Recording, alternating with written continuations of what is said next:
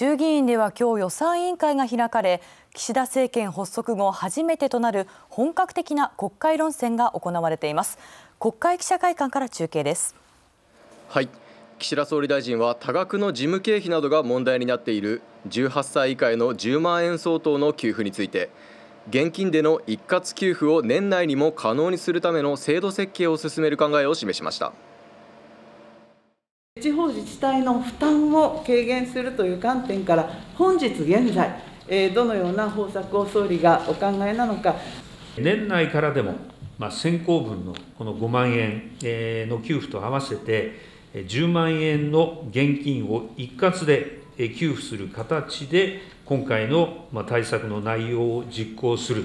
まこうしたことも選択肢の一つとして、ぜひ加えたいと。これまで政府は原則年内に現金、来年春にクーポンで2回に分けて給付するとしていましたが、自治体からすべて現金で給付すべきだなどと強い批判を受けて方針転換した形です。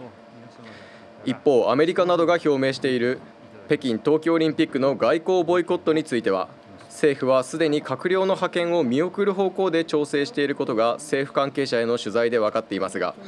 岸田総理はその判断の時期について各国の動きも勘案した上で考えていかなければならないと述べるにとどめました。午後からは野党が質問に立つ予定で批判一辺倒のイメージから転換を図る立憲民主党がどのような質疑を見せるのかも注目されます。以上中継でした。